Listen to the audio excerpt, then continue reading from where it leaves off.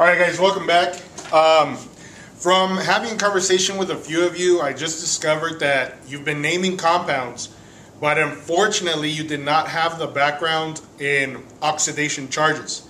Okay, so I'm going to try to make a quick video on how to show you how to obtain those oxidation charges. Okay, so basically, you have your periodic table, and I'm drawing a very like fake periodic table right here. All right, and you have, you know, group one, group two, you have the transition metals here. You have the group three, group four, group five, group six, we're gonna add another one over here.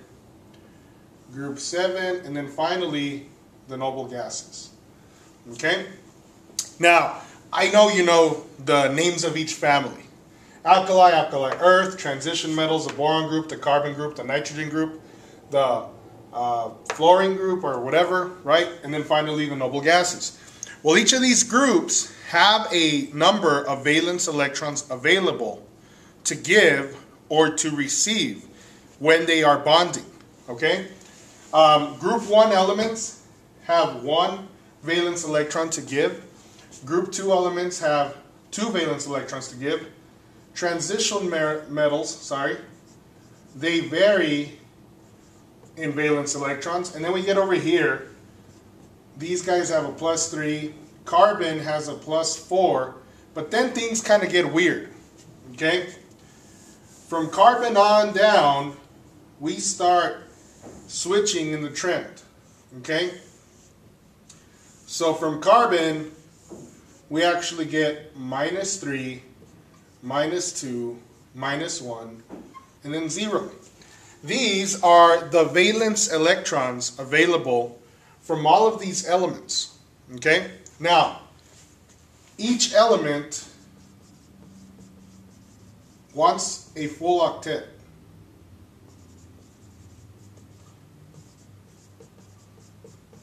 Okay? Meaning they want their outer shell electrons full so they could look like these guys, the noble gases. Okay? But unfortunately, you know, they're not like that. Magnesium, heli- uh, hydrogen, uh, sodium, potassium all have one valence electron only. And they want to give it away because in order for them to get seven more, remember the octet rule, okay? They have to go look for seven. It's just like you again. Do you have to get up and change the channel on your TV if you have the remote? No. You're going to use what uses the least amount of energy. These guys give off this valence electron. These guys give off two valence electrons. These guys give off three. These guys give off four. But then here, these guys all start to change. These guys need this many valence electrons. Okay? So starting with nitrogen, they need three, oxygen group needs two, and the fluorine group needs one. Okay? So when we are talking about oxidation states, or when you're naming compounds, you're going to use these values. This is the reason why sodium, which is over here, and chlorine, which is down here, bond, because sodium has one electron to give, and chlorine needs one electron. Does that make sense? Same thing if we were to bond magnesium, which is over here, well, a little bit below, that's beryllium. When magnesium binds to chlorine, magnesium has a plus 2, chlorine has a minus 1, so we got to add a chlorine at the bottom to offset that charge. Okay? These charges are not only the amounts of electrons that we have, and the amounts of electrons that we need, but they're also called oxidation states. Okay? Now, how do we obtain the number of valence electrons available from each element? Let me show you. This you should know.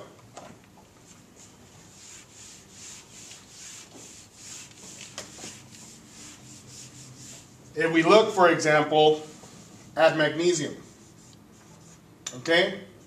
we use magnesium's electron configuration to find its valence electrons. Now, if we do the full electron configuration, magnesium is like this. It is 1s2, 2s2, 2p6, 3s2. Let me just double check that that's correct. Yes.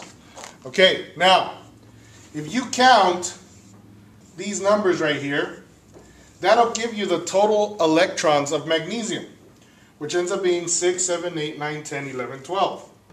12 electrons in magnesium. Okay? Now, if you do what's called the abbreviated electron configuration, you will write the last known noble gas, which is neon. Then it's 3s2. This number right here is the number of valence electrons available and also it is your oxidation state. Okay? I hope you can read that. If not, I'll, I'll redo it.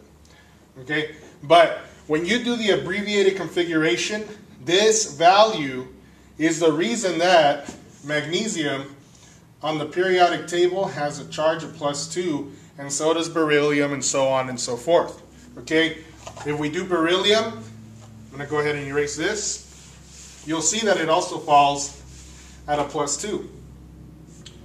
Beryllium full electron configuration looks like this. 1s2, 2s2, right? And beryllium has four electrons, okay? But beryllium abbreviated configuration, we use a last known noble gas, which is helium and then we do 2s2. This is the number of valence electrons. Okay? Plus 2. Now, we cannot do that for other atoms like oxygen. Hope I'm not blocked. Oxygen full electron configuration looks like this. 1s2, 2s2, 2p4. Okay? Now, if we do the abbreviated one,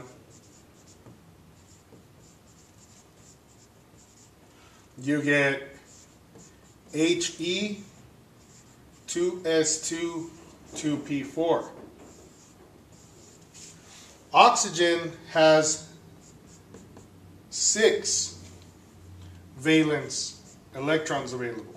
But that is not the charge of oxygen on the periodic table. When we go to the charges,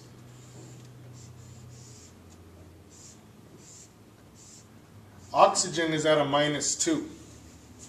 Now, why is it at a minus 2? Because, remember, everyone wants a full octet, meaning they all want 8 electrons. Oxygen only has 6, needs 2 electrons to have a full octet. And that's why we put the charge of minus 2. Fluorine is at a minus 1 because again, fluorine is going to have seven valence electrons and it needs one. Nitrogen is going to be at a minus three because it has five valence electrons, but it needs three. Okay? Again, these are called oxidation states, the behavior of electrons.